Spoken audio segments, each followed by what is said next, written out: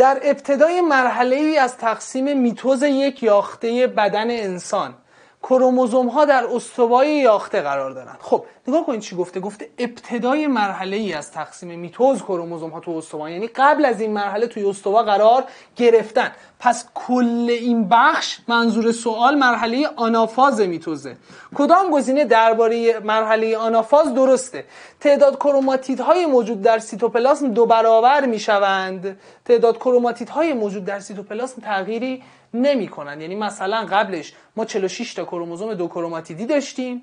الان کروماتیت ها جدا شدن. یعنی تعداد کروموزوم ها بیشتر میشن. تعداد کروماتیت ها تغییری نمی‌کنن. رشته های پروتئینی دوک به دوک تقسیم به سانترومر کروموزوم ها متصل می شوند این هم تو مرحله پرومتافاز اتفاق میفته یعنی توی مرحله آنافاز نیست. در انتهای این مرحله تعداد کروموزوم ها با تعداد کروماتیت های درون یاخته برابر است. من براتون مثال زدم 46 تا دو کروماتیدی داشتیم. الان همه کروماتیت ها جدا شده هر کروماتید برای خودش یک کروموزومه و تعداد کروموزوم ها با کروماتیت ها چی میشه؟ برابر میشه.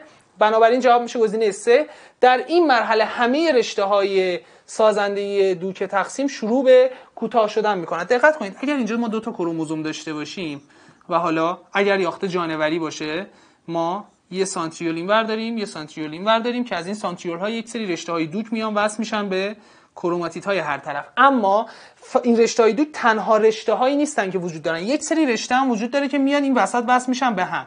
و وقتی این کروماتیت ها می‌خوام از هم فاصله بگیرن رشته هایی که متصلن به کروماتیت ها کوتاه میشن. اتفاقا این رشته هایی که متصلن به هم بلندتر میشن که کامل حل بدن سانتریول رو به سمت دو قطب سلول. پس همه رشته های دوک غلطه. البته این توی کتاب درسیتون وجود نداره. صرفا برای فهم بیشتر مطلب. بنابراین جواب این سوال میشه گزینه سوم.